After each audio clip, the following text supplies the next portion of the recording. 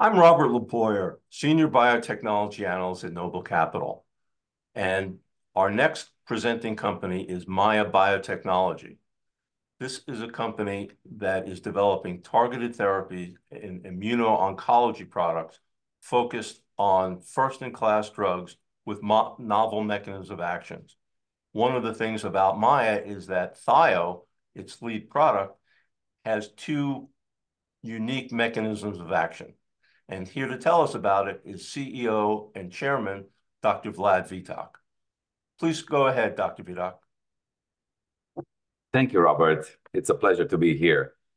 So, um, at MAIA, we are developing a new science for cancer therapy that builds on a double mechanism of action: telomere targeting and immunogenicity, which means the eh, enhancing the ability of uh, the human body to eh, to use its immune system against cancer.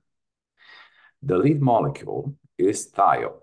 THIO is in the clinic, and we are working on the second generation of compounds currently in research and development. The phase two trial, THIO-101, uh, is nearing completion. It has, in fact, completed enrollment, and in this one, THIO is sequenced with um, Libtayo, cemiplimab, a checkpoint inhibitor, abbreviated as CPI, for the treatment of advanced non-small cell lung cancer.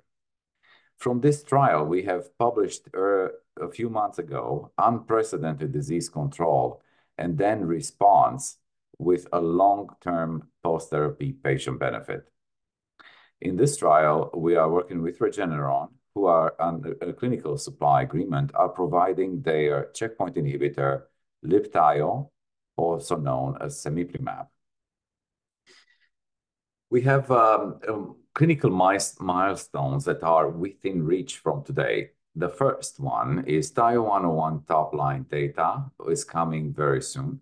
We um, uh, we are uh, our app, our poster is approved to present at ASCO in Chicago on June 3rd, and long-term data is coming in the second half of 2024, in general, in the September timeframe around the ESMO convention.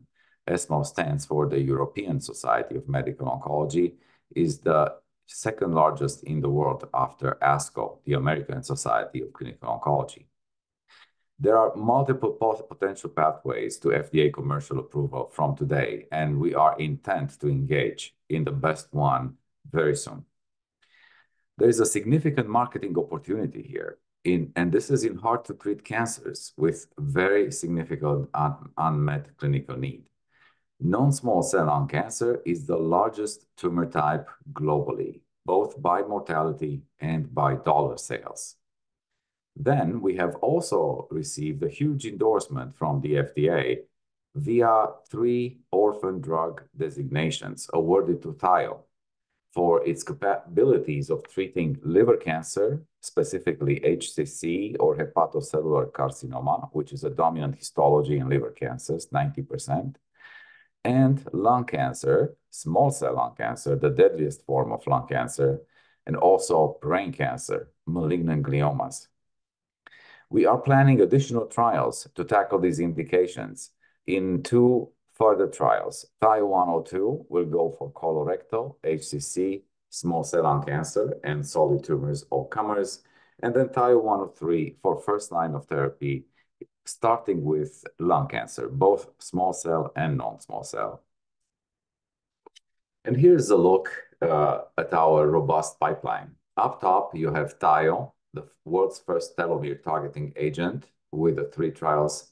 THIO-101, Uh, the trial uh, that completed patient enrollment in February this year.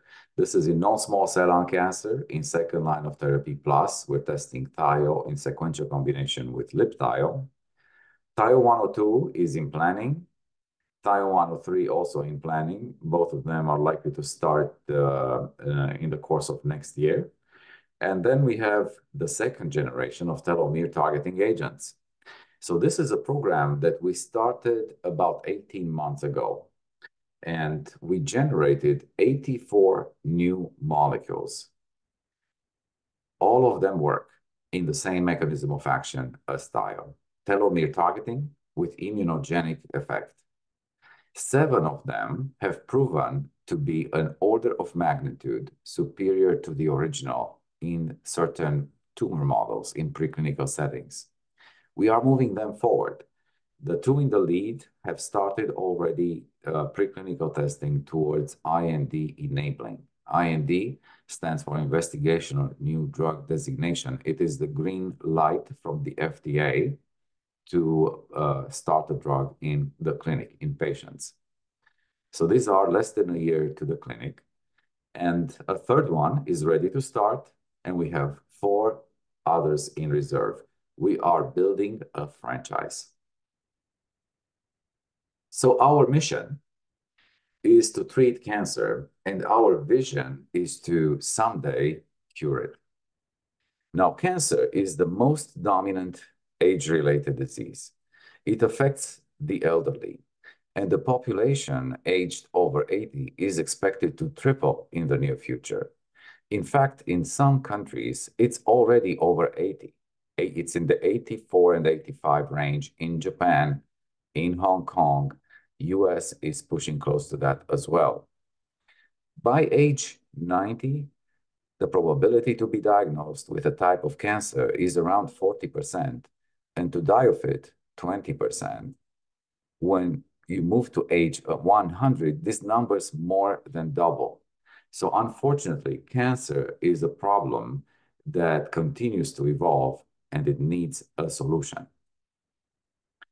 THIO can be. It's the only direct telomere targeting anti-cancer agent in clinical development. So here is the mechanism of action of THIO. It's a dual mechanism of action. First, telomere targeting. Second, immunogenic effect. So here to the left, you have in blue the chromosome that contains our DNA, our genetic information. At the end of the chromosome arms are the telomeres in orange, our target. The telomeres are also DNA structures like the chromosome, but shorter and with a very specific function to protect the integrity of the chromosome in the course of the cell division cycle. The telomeres are built and maintained by the enzyme telomerase. Telomerase is present in all normal cells in the first year of life. But at about age one, telomerase goes away, and at that point, the telomeres have reached their maximum length. From then on, with each cell division cycle, they lose a little until in the old age, they become critically short. They can no longer protect the chromosome, and mutations begin to appear. And with this, the diseases of the old age, including cancer. However, in cancer cells, something extraordinary happens. The enzyme telomerase is turned back on. And so the cancer cells regain their ability to elongate their telomeres and now reach a state of replicative immortality, a scientific way of saying they continue to divide and the tumor grows in the aging body. And this is where THIO comes in. THIO is picked up by telomerase, is integrated in the structure of the telomere. It creates a faulty, unstable structure. The DNA unwinds, the cancer cell dies. This process is fast and efficient. It happens in 24 to 72 hours, and THIO directly kills 70 to 90% of the cancer cells. Then comes into play its immunogenic effect. Of the telomeric fragments, THIO forms micronuclei, small incomplete nuclei that carry these fragments of telomeres eh, to the immune system cells, triggering an immune response that is so effective that if you follow THIO with a checkpoint inhibitor, you get complete response, no recurrence, and anti-tumor immune memory. And we have seen this with THIO in sequential combination with Libtayo, cemiplimab of Regeneron, with Keytruda, pembrolizumab of Merck, with Tecentriq of Genentech and Roche. And the first go-to-market is in partnership with Regeneron for non-small cell lung cancer. So our THIO-101 trial in non-small cell lung cancer is um, uh, in agreement with Regeneron. We have a clinical supply agreement under which Regeneron provide their drug Libtayo, cemiplimab, for our trial, THIO-101, free of charge.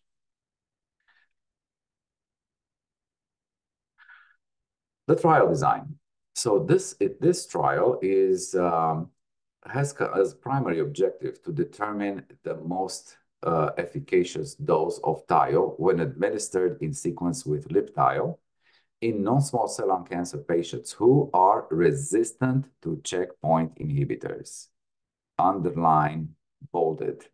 This is the most relevant, greatest subset of non-small cell lung cancer patients that does not have a therapeutic solution, does not have any drug approved, and there is nothing in development.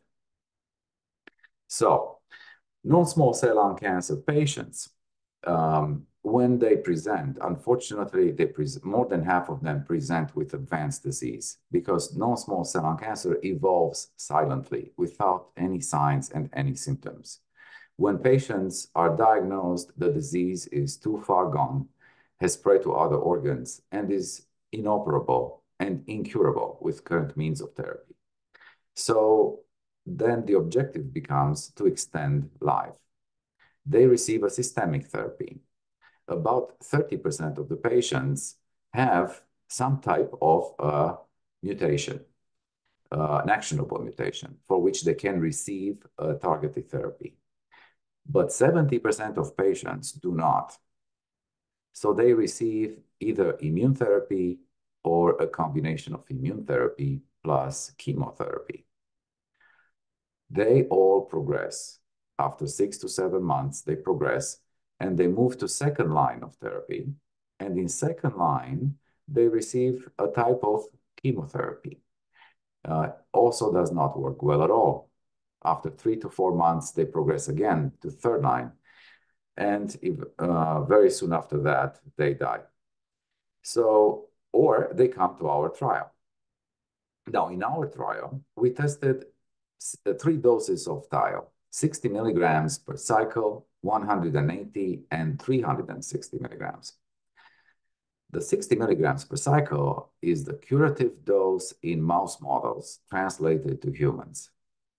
The maximum tolerated dose in humans is 2,500 milligrams per cycle. 60 versus 2,500, 1/40th. This is unprecedented in oncology as a margin of safety. We are testing the higher doses. We were testing the higher doses just to make sure we don't leave on the table any possible additional efficacy. But even the highest dose, 360, is still seven times under the maximum tolerated dose. So the three doses proved to be equivalent in disease control rates. But what made the difference was overall response rates, which were clearly favoring the middle dose, 180 milligrams per cycle. As is the case with many other immuno-oncology drugs, there is no linear relationship between dose and effect. You just have to find the best dose by testing. And this happened to Keytruda, and it happened to Libtayo. And now, again, in this trial is the case. The 180 milligrams dose became evident to be the best uh, by November last year. And this is when the oncology independent medical committee running the trial met and selected the 180 milligrams dose as the best dose to move forward. And we did that and completed enrollment in February 2024 in the 180 mg dose cohort. We are now here, and we are preparing the briefing book to go to the FDA to discuss the most effective path to commercial registration. We will be proposing a couple of alternatives, both of them leading to commercial approval by 2026.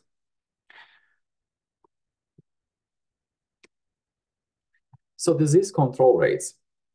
Disease control rates um, are a very important first metric of response. They are the sum of stable disease plus partial response. Partial response is uh, when is uh, noted when the tumor decreases by at least 30%. Anything between 30 and plus 20% is called stable disease. Disease control rates are a very important metric of efficacy because they can be measured in the first scan. And they are a superior predictor for overall survival compared to partial response rates. Now, our observed disease control rates in this trial have been consistently far better than the standard of care disease control rates.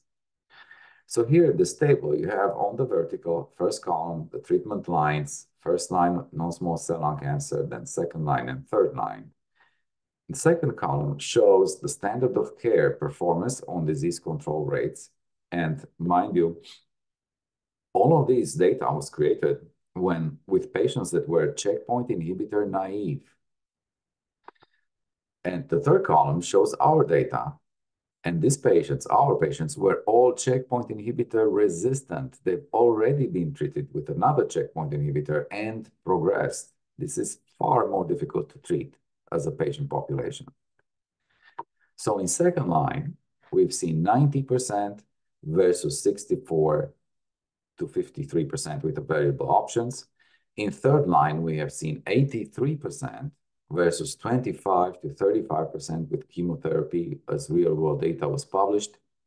And in fact, look at our numbers, 90 and 83%. They are greater than what Keytruda showed in first line in their pivotal trial, keynote KEYNOTE-024. These numbers are an amazing start. Now, we're tracking now survival. And here you have swimmer's plots by line of therapy. To the left, the second line patients, 28 patients in that group. To the right, third line plus patients, 24 patients in this group. So in this, we are, uh, the way we track the patients is in green is shown the period of time on treatment. And in gray is the period of time in follow-up. The benchmarks which we're looking to beat are results obtained with the current standard of care. In second line, that's progression-free survival of 4.5 months and overall survival of 10.5 months. And um, as you can see in second line, the vast majority of our patients are continuing therapy. We will publish um, an update on this data um, at ASCO in June. And then to the right, Uh, you see the progression-free survival with current options is just under two and a half months. The vast majority of our patients cross that successfully. And the overall survival is 5.8 months. And most of the patients have crossed that. And right now, they're crossing it as we speak. Some of the patients have survived for a very long time, 14.6 months here in the first patient ever enrolled in the trial. This is an Australian woman enrolled in uh, July of 2022 and 12.5 months for the second patient. And now many patients are crossing the 12-month mark as we speak. So here is a closer look to third line proper.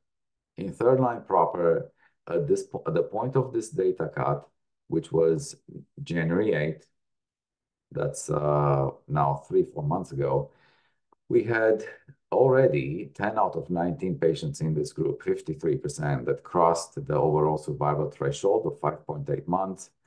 And the majority of the patients, 84%, had crossed the 2.5 months progression-free survival threshold. The efficacy so far is unprecedented. Disease control rates in this group are 83% versus 25%-35% with chemotherapy. And response rates for the 180 milligram dose, the best dose, are 38% versus 6%-10% with chemotherapy. Very impressive start. So where are we going with this? We're going to be targeting non-small cell lung cancer in third line of therapy. This is the highest unmet medical need, and it is also the patient population in which we show the most dramatic improvement in efficacy. Disease control rates are in the bag, 83% versus 25%-35%, almost three times. That's unprecedented in third line. Response rates, 38% versus 6%-10%, which is achieved with uh, chemotherapy options. Also many times greater. So to get full approval in third line of therapy, a drug needs to show a good hazard rate, which means hazard ratio, which means a statistically significant difference versus standard of care.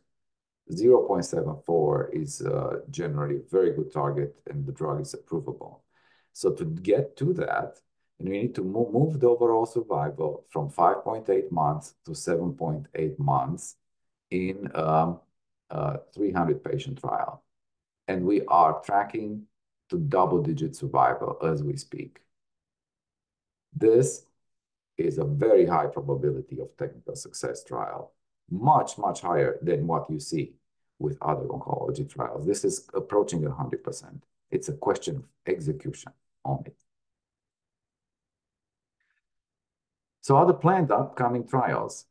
THIO-102 is another key trial. We are going to tackle here other big cancers, colorectal, liver cancer, hepatocellular carcinoma, small cell lung cancer, both of these two building on two of the orphan drug designations, and then solid tumors, all comers, which is um, signal generation arm. We will be looking at breast, prostate, gastric, pancreatic, ovarian, and others. And as soon as we see uh, the efficacy forming in a certain tumor type, we then go for, uh, we make it into its own arm. And we'll be testing THIO in sequential combination with different checkpoint inhibitors. We are in advanced discussions with uh, with companies and to put this into practice, and we expect this to start in the next 12 months. Now, in colorectal, in preclinical setting, we have seen some of our best responses to date. Here you have, this is a preclinical test they have in uh, MC38 colorectal, which is immunologically cold, does not respond to immune therapy.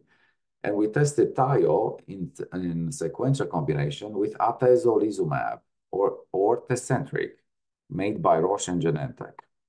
And this is what we see. We see in the control arm in gray, the tumor grows fast, it's aggressive. In orange is atezolizumab, Tecentriq monotherapy grows almost as fast, confirming this is an immunologically cold type of tumor. Um, and then in green, THIO is monotherapy blocking the tumor growth, but the sequential combination in blue with a 100% complete response. We then tracked the complete responses for 70 days, and there was no recurrence. Now, in mouse, 70 days are like seven years in humans. The curative threshold is five. At this point, they are cured. But we go above and beyond and re-challenge with 10 times more colorectal cancer cells and with no additional treatment. There is no cancer take. Immune memory is in place because of THIO. THIO has trained the immune system to find and kill the cancer cells on its own without any further therapy. The only therapy administered in this experiment was here in the beginning, two cycles. Small cell lung cancer, we have seen very good results here too. This was THIO with Pembro, Keytruda made by Merck. In HCC, hepatocellular carcinoma, liver cancer, again, very good results. This was THIO in combination with atezolizumab, Tecentriq. So these were the two data sets that the FDA reviewed when they granted the two orphan drug designations for THIO, the first two. And then last year, we have seen for the first time THIO as monotherapy achieving 100% complete response in liver cancer in HCC, published at AACR, the American Association of Cancer Research meeting.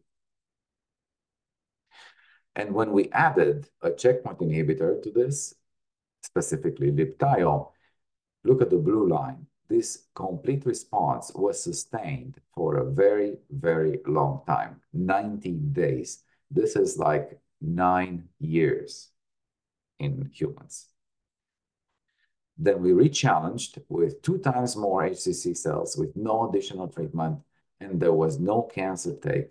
Immune memory is in place here because of THIO. And we then followed up a very, very long time, 210 days. This is like 21 years in humans. Very definitive.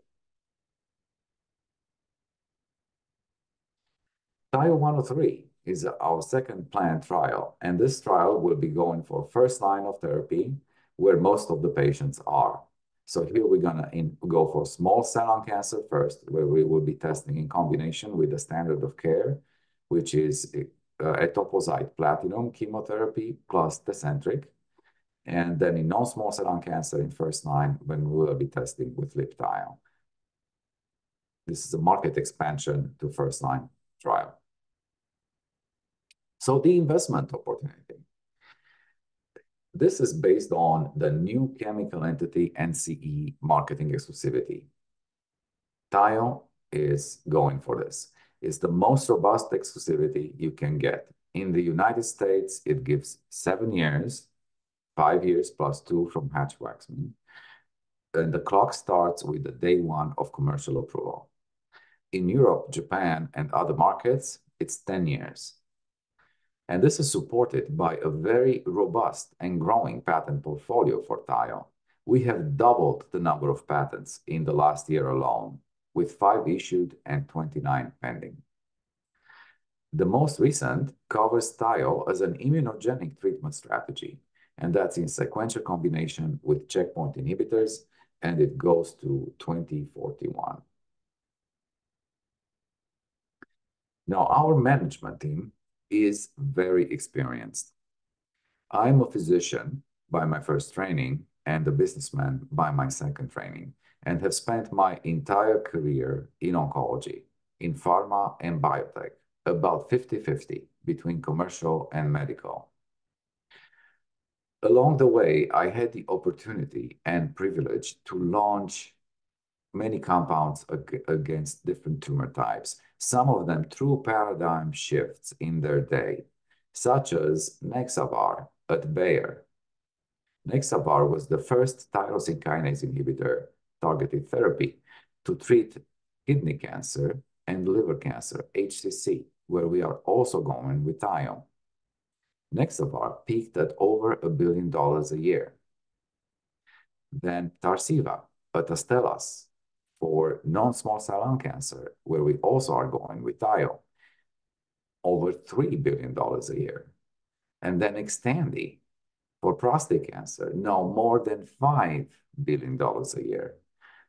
All very good, but none of them showed this type of efficacy that we are now seeing with THIO and Libtayo, and such a safety profile, which is very, very mild, and applicability in so many tumor types. THIO works in any tumor that is telomerase positive. 85% of cancer cells in aggregate are telomerase positive. Huge applicability. Nothing like it before. Now, our market opportunities here are very significant. We are going after top tumor type markets globally. Non-small cell is number one by mortality and by sales.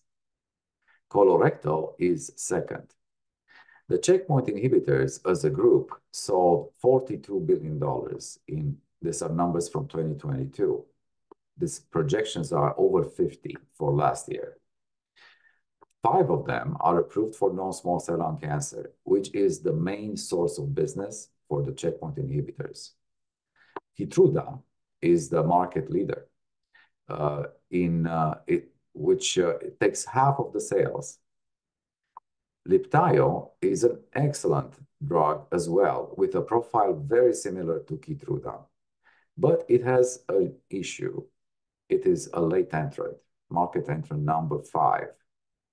So it needs to show superior efficacy to Keytruda, and the sequential combination with THIO is key. On its own, Libtayo is tracking to peak sales as per financial analyst consensus to about $2.5-$3 billion a year.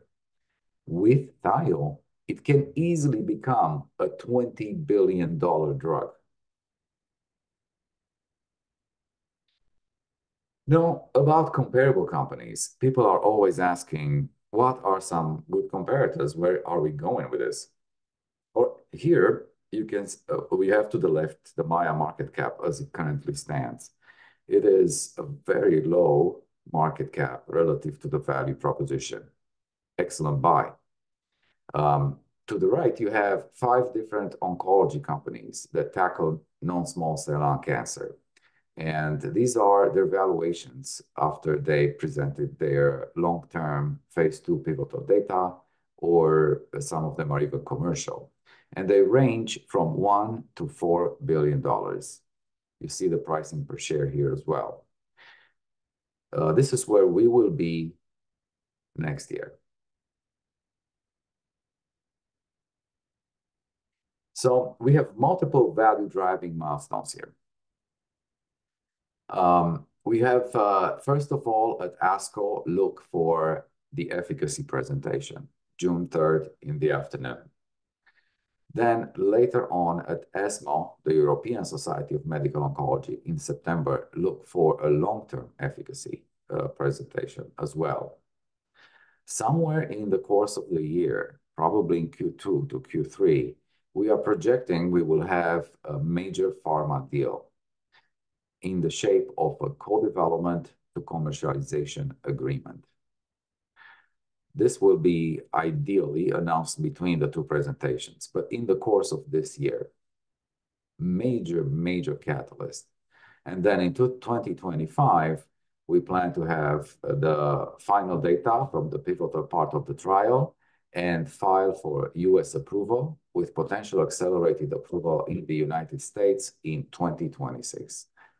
In parallel, we move forward to THIO-102 and THIO-103 for additional indications in additional tumor types, and then again, the next generation of compounds, telomere targeting agents with immunogenic properties. We are building a franchise. And with this, we are arriving to the end of our presentation, and I'm ready to take any questions. Thank you. Thank you, Dr. Burak. That was very informative, and that was a great explanation of the two mechanisms of action, both the direct killing and the immune stimulation that THIO brings to these patients. One of the questions that I have relates to the partnership that that you mentioned. And you had mentioned the partnership with Regeneron for the first trial, but what about the other trials? And when you mention a commercial partnership, what do you expect this to include? So we are in advanced discussions with several uh, pharmaceutical biotech companies that are currently in the data room. And uh, uh, most of them are makers of checkpoint inhibitors, and others are not. Um, the ideal scenario for MAIA Biotech is we engage in a co-development agreement under which they come in with a significant upfront just to catch them up to stand on equal footing with our investment so far in the program, which over the years is now totaling more than $40 million. So we're expecting something comparable to come in as an upfront. And then from that, from here on, uh, a 50/50 development participation. And uh, for commercialization, we can uh, we can hold on to U.S. and um, have ex-U.S. Um, licensed out, and we can do a profit-sharing uh, participation. That would be a great scenario, a win-win for all parties. Of course, there are many variations to these types of deals, um, uh, but think of uh, other successful compounds that arrive to something similar, like Xtandi by Medivation or the Pharmacyclics deal. Yes, uh, there are many components and many variations. So yeah, there are there are a lot of different forms a deal can take, basic or more extensive. So yeah, we'll be looking for that. And one of the other things, uh, you mentioned several milestones in in the next several months.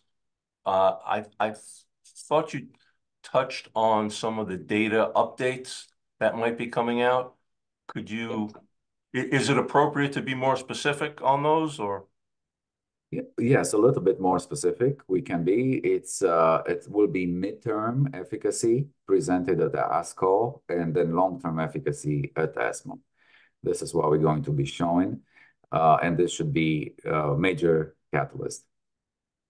Okay, great. So it looks like there are some big inflection points coming up. Yes. Okay. All right, and uh, on on the slide, you you mentioned first approval. And is there a projected time frame that Thio might be commercially available in its first indication? Yes. uh, We will soon engage with the FDA to align on the optimal trajectory to obtain commercial approval, and there are several paths under consideration to get to that. Um, and we anticipate a final decision on Thio from the FDA in 2026. Okay, great. And one of the other things was that you were, you were your clinical trial is using third-line treatment. These are patients who have failed therapies, they're very sick, very short life expectancy. If approved in that indication, could patients be treated earlier, or do you have additional trials running or expected, or what would be the status for earlier treatment? Yes, we want to start the first-line trial, uh, not uh, farther, much farther along, that will treat the first-line patients. If a drug is approved in third line, typically it is used in third line or beyond third line, in fourth line, fifth line of therapy, but rarely used before third line.